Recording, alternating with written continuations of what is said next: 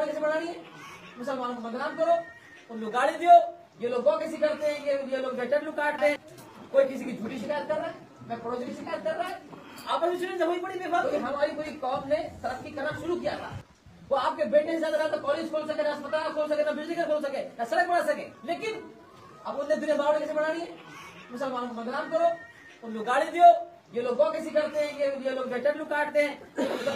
हर काम में दो चार वो तो और में भी होंगे, लेकिन बदनामी का ठीक है सारा हमारे से।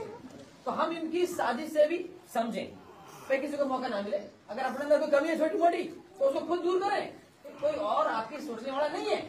आज जो सत्ता में लोग बैठे हैं, उनकी दुकान इस बात पर चल रही है कि आपको परेशान किया जाए, आपको बदनाम किया जाए, ताकि जो वो लोग जो ध्रुवीकरण करते हैं और जातियों को जो धर्म में बहकाते हैं, वो सब दुष्ट होती रहे। मैं देखो, बहुत सोच समझने की बात है।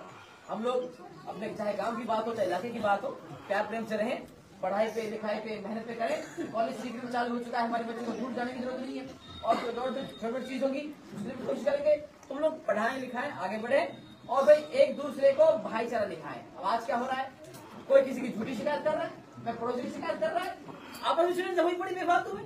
आज भी राज्य दूसरे फंसा के तो मेरे भाइयों हालात समझो। आज जो देश के अंदर जो हालात हो रखे हैं इन्होंने ऐसा जहर फैला दिया बम बरस रहे फिलिस्तीन में, और लोग यहाँ खुशी मना रहे हैं उस बात की। लोग की मौत में लोग खुशी मना रहे हैं। तो क्यों?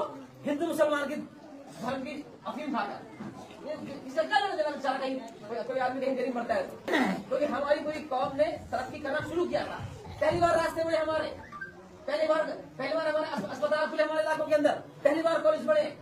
हम लोग उम्मीद कर रहे थे ये चीज़ चालू रहेगी तो आने वाले कल में हमारे बच्चों का भविष्य बढ़ेगा पढ़ाई लिखाई होगी। लेकिन चलो अल्लाह का फैसला से था। नहीं तो इंसान किसी को काट नहीं होगी। हाँ तो भाई अल्लाह का अल्लाह का शुक्र है जो हुआ अच्छा हुआ। असल जो चीज़ है हम लोग आज भी आप लोगों की कितनी प्यार मोहब्बत से हमें चाह रहे हैं। तो ये सबसे बड़ी ताकत ये है आपकी आपकी प्यार और आपकी आप ये ये जो दौलत है प्यार की मोहब्बत की चाहने की इस इसी इसी की ज़रूरत है। और इसीलिए इस काम में आए। इसीलिए इस काम में आए। तो क्या ज़रूरत पड़ती है? आप, बताइए ना। आप जानते हैं। भाई इस राजनीति से क्या क्या करना है? लेकिन अपने लोगों के लिए, अपने इलाके के लिए, अच्छे काम करने के लिए। इसीलिए से थे, फिर भी आप लोगों ने बहुत से लोग जितने वोट पहले आए, उतने भी हाएँगे हम कहते और आप लोगों ने वो उनकी पूर्ति करी तो कटी उनकी पूर्ति करी, और बारह हज़ार और बढ़ा ली। तो बहुत बड़ी सलूट है साहब आपको पूरी पूरे इलाके को इन सब गाँवों को।